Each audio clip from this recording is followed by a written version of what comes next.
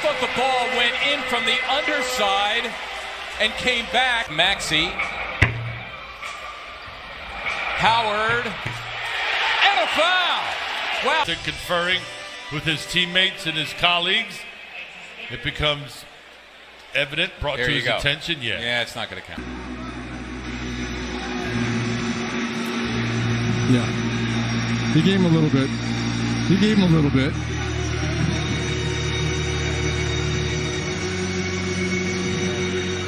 So Julius Randle is going to get a T because he is going to drop the ball. Oh, on Trae.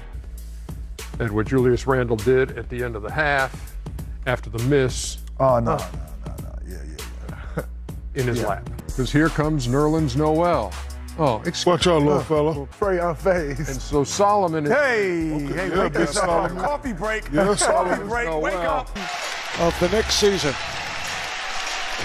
As Young fires from way downtown and takes a bound. Not appreciated.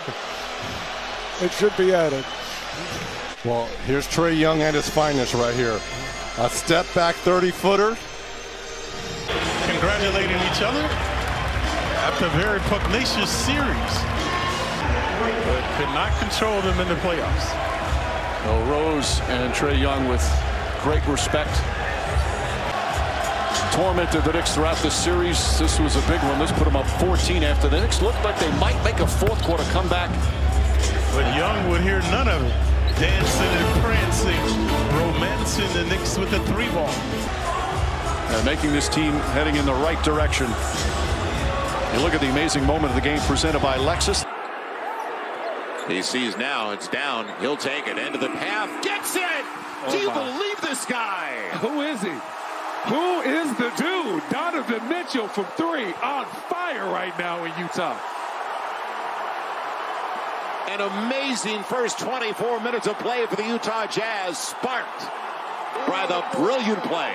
of- Or the number one seed, the Utah Jazz, and they're on their way to the second round. There's Ja, a moment with Donovan.